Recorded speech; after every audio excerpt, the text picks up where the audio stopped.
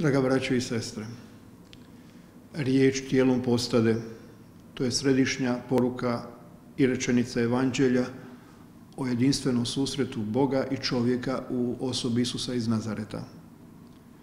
No ona se ne odnosi samo na Božje utjelovljenje u Isusu, kojega ozračju Božića promatramo u betlehemskom djetetu, nego u sebi uključuje cjelokupno tajstvo njegova života, smrti, uskrsnuća i uzašašća na nebo gdje sjedio desna Bogu, a na svoj način obuhvaća i svaku konkretnu Božju naklonost prema čovjeku. U riječi koja je tijelom postala, malom Bogu, Božiću, Bog dolazi blizu ljudima kao nikad prije. Božja ljubav ima ruke, noge i lice, postaje darežljiva, dohvatljiva. Pred ovim bogočovjekom ima mjesta za sve, zadovoljne i opterećene, razočarane i grešne, sumnjive i pobožne, mlade i stare. Božićni pjev i poruka anđela, slava Bogu na visini i mir na zemlji ljudima, pjev su i poruka o ljudima kao djeci Božje naklonosti, ljubavi i milosrđa.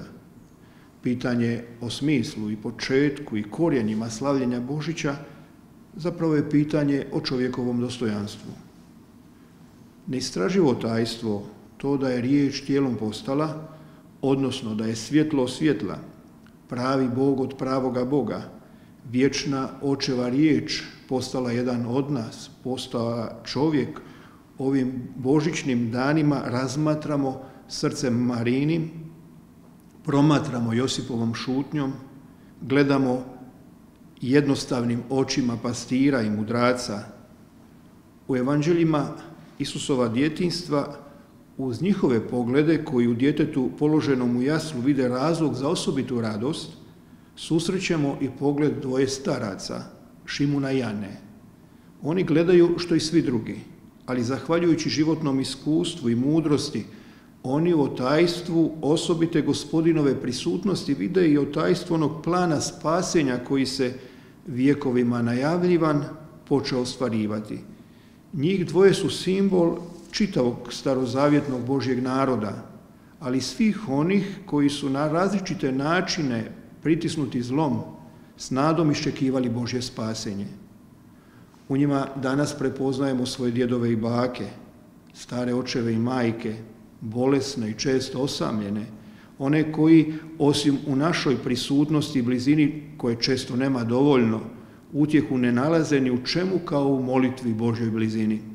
To su sve osobe koje se više ne mogu pouzdati u sebe i svoju snagu, koje su ponovno postale kao djeca, ovisne o drugima i osobito ovisne o drugome kojim je u njihovoj slabosti i nemoći, osamljenosti i iščekivanju da im oči vide njegovo spasenje, jedini sposoban dati smisao i vratiti rado života. Oni su u svom dugom životu naučili da Bog ne dolazi onako kako mi ljudi sebi predočavamo i želimo, nego onako kako On želi. I zato strpljivo i mirno iščekuju i dočekuju, jer Bog ih neće zaboraviti. Bog neće i ne može proći mimo njih. Za njega nitko nije prestar, previše bolestan, premlad, premalin ili što drugo. Bog koji dolazi u djetetu želi susresti svakog čovjeka. Postao je dijete da ga se nitko ne plaši i da svakoga svojom nevinošću može razveseliti, ali i slabošću koja je ovisna o drugima potaknuti na djelovanje. I svakog čovjeka koji ima srce Bog dotiče slabošću djeteta u kojemu nas je susrela i objavila nam se ljubav velikog Boga kojega starije osobe, oni koji su svojom ovisnošću o drugima i sami postali kao djeca, najbolje primjećuju i po tom svom biti potrebiti kao djeca na osobit način utjelovljuju. Braćo i sestre, slaveći tajstvo Božića, svoj pogled želimo posebno usmjeriti prema našim starijim vjernicima u skladu sa željom ove pastoralne godine. Želimo učiti iz njihovog životnog iskustva, osobito iskustva njihove starosti. I želimo u njihovoj starosti, bolesti i osamljenosti u njihovoj ovisnosti o drugima i blizini drugih prepoznati jedan od brojnih načina Božjeg utjelovljenja, Božjeg biti riječ tijelom postala. U duhovih misli svima vama, a osobito vama, naša draga, starija, bolesna braćo i sestre, često osamljena, želim sretan Božić i blagoslovljenu novu 2017. godinu.